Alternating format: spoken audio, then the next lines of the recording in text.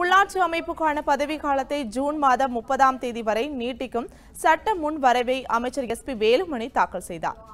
நான்காவது நாளாக இன்று கூடிய தமிழக சட்டப்பேரவையில் சட்ட முன் வரைவுகள் தாக்கல் செய்யப்பட்டு வருகின்றன.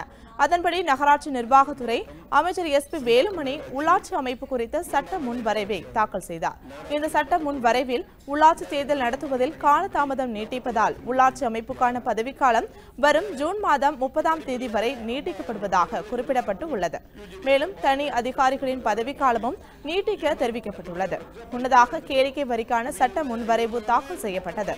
இதற்கு திமுக காங்கிரஸ் உள்ளிட்ட கட்சிகள் துவக்கத்திலேயே எதிர்ப்பு தெரிவித்ததால் சலசலப்பு ஏற்பட்டது. முக்கிய நிகழ்வுகளை அறிந்து கொள்ள காவிரி நியூஸ் யூடியூப் சேனலை சப்ஸ்கிரைப் செய்யுங்கள். உடனுக்குடன் செய்திகளை தெரிந்து கொள்ள காவிரி நியூஸ் சமூக வலைதளங்களோடு எப்போதும் இணைந்திருங்கள்.